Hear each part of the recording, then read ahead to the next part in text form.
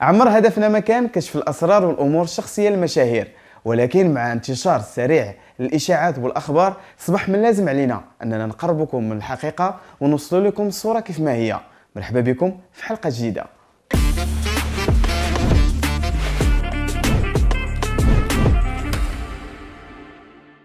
السيد عنده الكونسير 48 ساعة تيحنقز في الكباري سكران. وشان. سيمو بن بشير اللي عرفناه في عالم ال showbiz وتغطية الأحداث الفنية العربية والمغربية ولقاءاته مع نجوم العالم وكذلك تصريحاته اللي كثير الجدل في مواقع التواصل الاجتماعي والمنابر الإعلامية. وكان آخر هذه القضايا قضية سعد المجرد وكذلك تصريحه بخصوص ملف حمزة مونبيبي وصدر حاليا كتاب بعنوان sneaky showbiz المشاهير والسحر الأسود. وكيف طلعنا على الكتاب اللي كيتكلم على الأسرار الأعمال التجارية بالمغرب وعن استخدام المشاهير السحر الأسود لتحقيق النجاح بأي وسيلة. وقوله أن هناك سيدة اسمها رقية كتعتبر ملكة السحر كيأتيها عدد من المشاهير ورجال الأعمال بسبب مشاكل مادية أو المشاكل العملية وأن عدد كبير من أسماء المشاهير تستافدوا من الخدمات ديالها اللي كتقدمها لهم. وقوله أن المغرب بلد سحر وانتقاده بقوله المغاربة لا يتمتعون بسمعة طيبة. وبعد صدور الكتاب باللغة الإنجليزية والفرنسية كيستعد حاليا لطرحه باللغة العربية. كبسول ترفيهية اسمها الفرقة. كنشوفوها على القناة الثانية بمناسبة كأس العالم للسيدات بأستراليا ومشاركة المنتخب المغربي النسوي. الفرقة يقوم بتقديمها عدد من المشاهير والمؤثرين اللي انتقادات كبيرة بسبب تغطيتهم المباريات المنتخب المغربي وكذلك ستوريات اللي كيظهروا فيها كيشجعوا المنتخب. وتداول النشطاء الرأي ديالهم في مواقع التواصل الاجتماعي وبعض المنابر الإعلامية أن الفقرة التي تم تقديمها بعيدة كل بعد عن فكرة الرياضة وأن مقدمي هذه الفقرة ما عندهمش الخبرة في تغطية الأحداث الرياضية وحدث عالمي بحال كأس العالم للسيدات بأستراليا.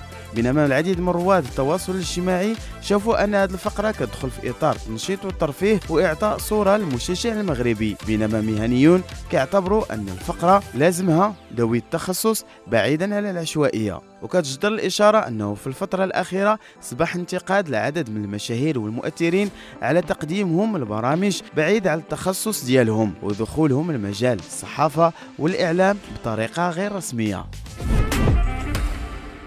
ميتر جيمز كيقرر إلغاء حفله الموسيقي المقرر الأسبوع القادم يوم 11 غشت بتونس احتجاجا على ظروف المهاجرين بحيث أعلن على إلغاء حفله الموسيقي اللي غيكون يوم 11 غشت في جربة التونسيه تنديدا بالمحنة اللي كيعاني منها المهاجرين ما بين تونس وليبيا وقال حساباته في مواقع التواصل الاجتماعي إن أطفال ونساء ورجال رحلوا من تونس إلى ليبيا يعيشون في ظروف غير استثنائية ولا يمكنني مواصلة رحلتي إلى تونس. لا أعرف أين الحلول لكن هذه المحنة صعبة. وكانت الأمم المتحدة آخر هذا الأسبوع الماضي دعات الحلول عاجلة لإنقاذ مهاجرين تائهين للأسابيع قرب الحدود التونسية الليبية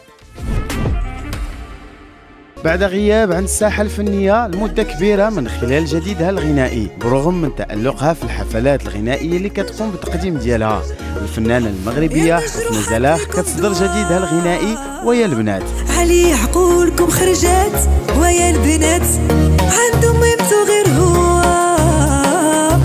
تكيسوا عليه الدريات ويا البنات كلمات انور مقدور وتوزيع نوح عبدي وتفاعل جمهور حسنة زلاخ مع الأغنية الجديدة لها. وكذلك عودتها للساحة الغنائية ودعمها وتشجيعها وطلب منها جمهورها طرح المزيد من الأعمال الغنائية. ويا البنات داك العيون السود حبة من عنقود حقنا فيه كاملين تعالي نديرو عليه.